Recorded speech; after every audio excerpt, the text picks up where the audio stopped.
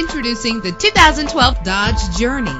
Travel the roads in style and comfort in this great vehicle with a reliable engine connected to a smooth shifting automatic transmission. Premium wheels give a more luxurious look. Anti-lock brakes help you bring your vehicle to a safe stop. He's always hot and she's always cold. Solve this problem while driving with dual temperature controls. Plus, enjoy these notable features that are included in this vehicle. Air conditioning. If safety is a high priority, rest assured knowing that these top safety components are included. Side airbag, stability control. Call today to schedule a test drive.